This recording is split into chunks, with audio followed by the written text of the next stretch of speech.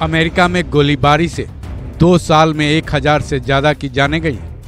क्या American gun culture है इसकी वजह? क्या है अमेरिका का गन कल्चर? बुधवार की रात अमेरिका के लेविस्टन में जो कुछ हुआ, उसने न केवल पूरी दुनिया को हिलाकर रख दिया, बल्कि मानवता को भी झकझोर दिया है। चकित कर देने वाली बात यह है कि कैसे एक आदमी तीन अलग अलग जगहों पर गोलीबारी करता है, जिसमें 22 लोगों की जानें चली जाती हैं और कई घायल हो जाते हैं। ऐसा नहीं है कि ऐसा पहली बार हुआ है। केवल पिछले दो साल की ही बात करें तो गन वायलेंस आर्काइव की रिपोर्ट के मुताबिक इस तरह की घटनाओं में एक हज़ार से ज़्यादा लोग अपनी जान नाहक में ही गंवा चुके हैं, जिसमें 2022 का आंकड़ा छह है। वहीं ये साल अभी पूरा भी नहीं हुआ है और इस तरह की घटनाओं की वजह से छह लोगों की जाने चले जाने का अनुमान है। सवाल यह है कि अमेरिका में ऐसी घटनाएँ आखिर होती क्यों है? इसमें एक अहम सवाल ये भी उभर कर सामने आ रहा है कि क्या अमेरिका का गन कल्चर इसके लिए जिम्मेदार तो नहीं? इस जवाब को हम ढूंढेंगे। उससे पहले जानते हैं कि आखिर अमेरिका का गन कल्चर है क्या? अमेरिका का गन कल्चर। दरअसल अमेरिका में आम नागरिकों को हथियार रखने के अधिकार दिए गए थे। आंकड़ों के मुताबिक अमेरिका में गन कल्चर का इतिहास 232 साल पुराना है।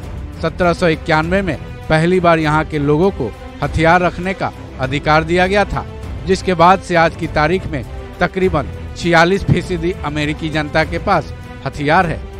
कई रिपोर्ट्स में तो यह भी दावा किया गया है कि अमेरिका की हाई प्रोफ़ाइल जनता की हर जनता के पास कम से कम एक बंदूक तो ज़रूर है। इंडिया में गन लेने से पहले लाइसेंस की प्रक्रिया तो ऐसी है कि कोई भी नाको चने चबा जाता है। लेकिन अमेरिका में बंदूक खरीदना काफ़ी आसान है। अमेरिका में गन तो ऐसे मिलते हैं जैसे शॉपिंग करके आ गए हो, क्योंकि वहाँ गन की दुकान पर जाने के बाद कुछ ही नियमों का पालन करवाया जाता है और महज कुछ सवालों के जवाब पूछे जाते हैं। फिर क्या उसी दिन आपके हाथ में बंदूक आ जाएगा?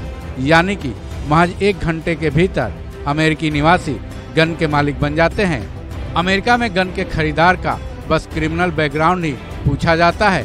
कुछ फॉर्म्स पर डिक्लेरेशन करवाए जाते हैं। फिर क्या? आप हो गए गन के मालिक। यहाँ तो वॉलमार्ट जैसे बड़े आउटलेट और छोटी दुकानों में भी बंदूकें बेची जाती हैं। अमेरिका में हावी क्यों है गन कल्चर? चौंकाने वाली बात यह है कि अमेरिका में वहाँ की जनसंख्या से ज़्यादा हथियारों की संख्या है, जो जनता के पास है। अमेरिकी मीडिया एबीसी के मुताबिक अमेरिका की जनसंख्या 33 करोड़ है।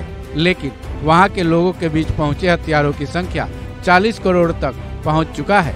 सवाल यह है कि अमेरिका में गन कल्चर हावी क्यों है? दरअसल, अमेरिका में गन रखना मर्दानगी का सबूत माना जाता है।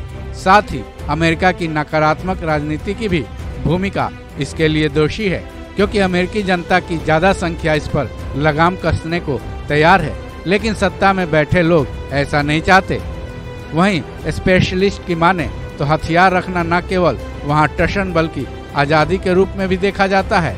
ये रुतबा ठीक वैसा ही माना जाता है, जैसा कि इंडिया में बाहुबली टाइप के लोगों के लिए माना जाता है। हालाँकि हथियार रखने के पीछे सबकी दलील यही होती है कि वह सुरक्षा के लिहाज से इसे रख रहा है। तो क्या वाकई में अमेरिका में गन कल्चर, सरेआम गोलियाँ चलाई जाने वाली घटनाओं का फल है?